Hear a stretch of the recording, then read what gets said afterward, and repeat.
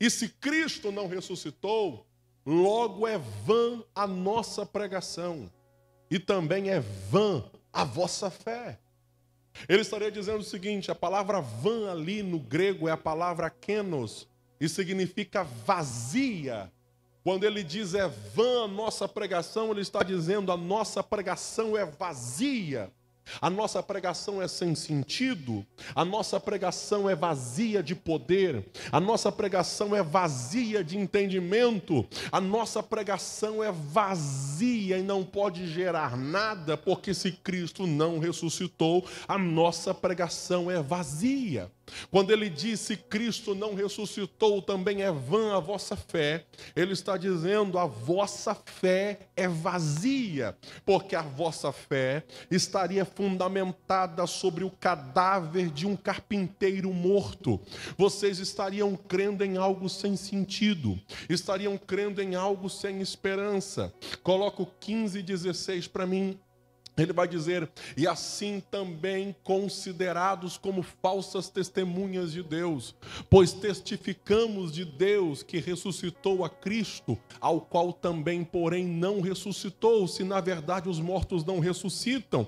Versículo 16: porque se os mortos não ressuscitam, também Cristo não ressuscitou. O que, que Paulo está dizendo? Nossa pregação seria vazia, a vossa fé seria vazia, nós seríamos mentirosos. Nós não seríamos testemunhas de Deus, mas nós seríamos mentirosos. Coloca o 17. Olha o que ele vai dizer sobre negar essa verdade. E se Cristo não ressuscitou, é vã a vossa fé e ainda permaneceis nos vossos pecados. Irmão, isso é sério. Paulo está dizendo que se Cristo não ressuscitou, nossos pecados não foram perdoados nossos pecados não foram lavados. Por quê? Porque ele foi um sacrifício ineficaz. Porque o salário do pecado é a morte. E se Cristo está morto, significa que ele é pecador. E como pecador não pode salvar ninguém. Se Cristo não ressuscitou, nossos pecados não foram perdoados, porque o sacrifício diante de Deus não foi aceito. Mais do que isso, coloco 18. Olha o que Paulo vai dizer para a igreja: e também os que dormiram, ou seja, os que morreram em Cristo, estão perdidos. A consequência disso, Paulo está dizendo: se Cristo não ressuscitou, os mortos não têm esperança. Se Cristo não ressuscitou, a morte tem a última palavra. Se Cristo não ressuscitou, nós temos razões de nos desesperarmos nos velórios, porque nunca mais veremos nossos entes queridos.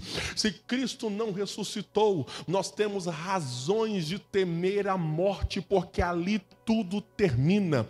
Por isso ele vai dizer no 19: e se esperarmos em Cristo só nesta vida, somos os mais miseráveis de todos os homens. O que ele está dizendo? Se Cristo não ressuscitou, nossa pregação é vazia, nossa fé é vazia, nós somos mentirosos, nossos pecados não foram perdoados, os mortos não têm esperança, por isso nós somos os mais miseráveis de todos os homens, porque a nossa vida é gasta inutilmente, sem sentido, sem esperança, sem razão. Mas aí ele vai dizer um dos textos mais lindos da Bíblia, ao dizer no versículo 20, ele vai dizer dizer um porém, ele vai dizer um mas, ele vai dizer assim: mas de fato, Cristo ressuscitou. Mas de fato, Cristo ressuscitou. O que ele está dizendo, como ele vive, a nossa pregação não é vazia, a nossa fé não é vazia, nós não somos mentirosos, nós não estamos presos nos nossos pecados, a morte não tem a última palavra, os que morreram ressuscitarão, e nós não somos os mais miseráveis, mas somos os mais felizes de todos os homens. Aleluia. Ele está dizendo para nós que, como Cristo ressuscitou, nós temos todas as razões do mundo para nos alegrarmos. Mas se ele não tivesse ressuscitado, nós teríamos todas as razões do mundo para nos lamentarmos.